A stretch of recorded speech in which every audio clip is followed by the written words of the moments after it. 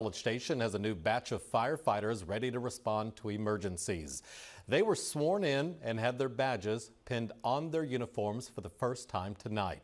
In this group, there are 11 firefighters and two administrative support specialists and one who was promoted to captain.